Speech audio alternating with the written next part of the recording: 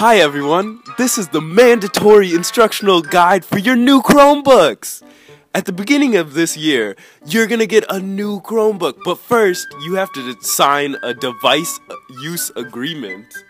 This video covers everything in the device use agreement, so pay attention because this stuff's important.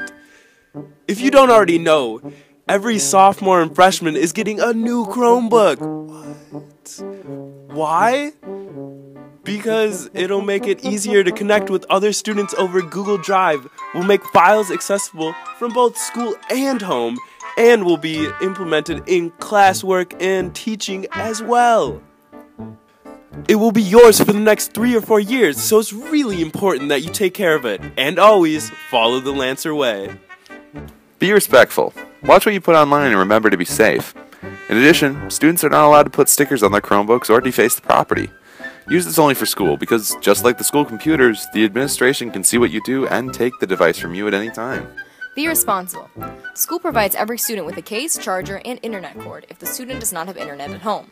If the Chromebook is lost, stolen, or broken, it must be taken to the library immediately. Students must pay for any part of the package that they lose or break, and Chromebooks alone are $300.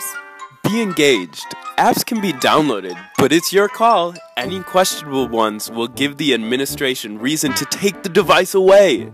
Store all of your files in Google Drive and keep the device fully charged every night. Thanks, Kuma, you're my hero.